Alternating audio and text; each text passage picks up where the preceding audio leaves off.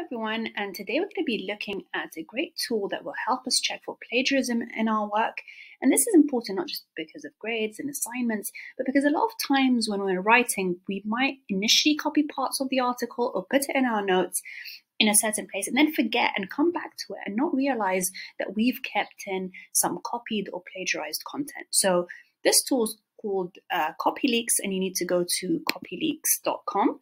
And then once you've clicked on that, it will ask you to log in. So you need to log into your account. And once you do that, it will take you to the main page. And you can see here that I've got my scans and then this will be your dashboard once you start uploading material. And then the first thing that you need to do is go to new scan. So once you've gone to new scan, you've got several options. You can paste your text here, you can upload a file, you can even upload code, um, a link to a document um, or an OCR or compare. So if we just look into text here first, you can see that you can just copy and paste your text in here and you can uh, look at the sidebar and you can choose the different detection modes that you want it to look at. So, for example, AI content detection, plagiarism detection.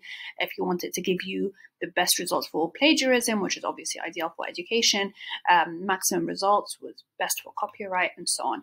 Um, if we go back, we've also got an option to upload a file. So we can here drag and drop our file again. Before we do that, I want to be sharing with you um, a document which I've developed in order to, and put different sections in, in order to see how well CopyLeaks picks up the different areas, whether it can see the plagiarized areas, where it can see the paraphrase, and so on. Here's our document, um, and let me take you through it quickly. The first section I've written myself, so should not have any uh, plagiarism in that. And then the section red here that you see is completely copied, and I've put where I've taken it from. It's from Wikipedia. And then I've written another section here. And then the section in blue, this has actually been paraphrased by Quillbot. So I want to see if it's really picking up the detecting that, that it's being paraphrased by AI tools. Uh, the section in green is been has been paraphrased by ChatGPT. So again, I want to see how well it does with that.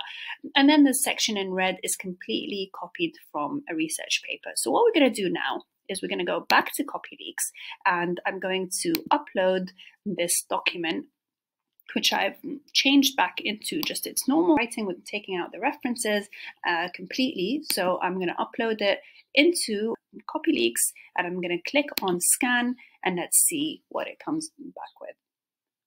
So you'll see it takes a little bit of time to load the document and as soon as it's complete it will give us a final percentage um, of how well it does. So let's look at the information that is returned. So we can see here initially that there's 43.1% matched text, and it breaks this down for us. So we can see the dark uh, red is identical, there's 18% match, and we know that we have exactly copied plagiarized text in here, so that's good to see that it's picked that up it's picked up on 0.1% minor changes. Um, and then the light orange, we've got the paraphrase section that we know we've put that in as well, 24.9%, um, and then zero omitted words. So let's take this step by step and look at what it's done.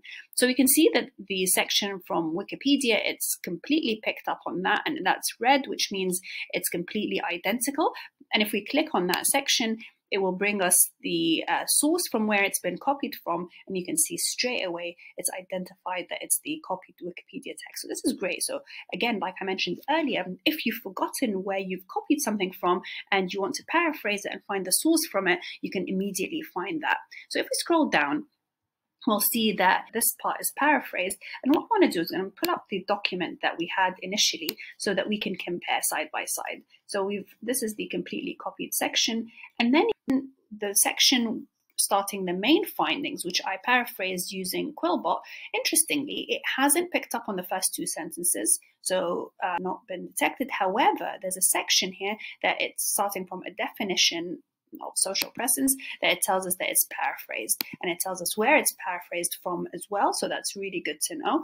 Um, so always be careful when you're using AI tools, Quillbot or whatever to uh, paraphrase that you need to be inputting your own um, writing as well because then it will be detected as being paraphrased. Now, if we look at what it's done with the ChatGPT text, which is the next section here, you'll find that it's actually picked up that all of the chat GPT section has been paraphrased. That's good to know. And there's also a sentence in here that it says that it's identically copied, even though it's supposed to have been paraphrased. So be careful with that. And again, it's shown us uh, where it's been um, taken from, and it's given us the uh, source for that. Now, moving on to the last section, let me just pull up my document here as well. With the rise, this is a chat GPT section, which we said is paraphrased. And then with the last section, again, it's picked up that this is exactly copied from the uh, article. So that's the reference here as well. So overall, I can say that it's done a pretty good job in telling us the extent of the match text. And I find this one of the most useful tools if you do not have access to Turnitin, for example, to submit your research paper or your article before it actually gets evaluated, then this is the next best thing to have. And let me just say here that although they do say you can upload about 20 documents for free, I've found that it usually gives you about three or four documents depending on the length and then after that and you have to upgrade. So if you're regularly submitting papers is worth the, the investment in this. Um, however if you're just using it occasionally then you can use the free version. So i hope you found this useful um, as a tool to keep track of your work and of your notes. And see you in the next video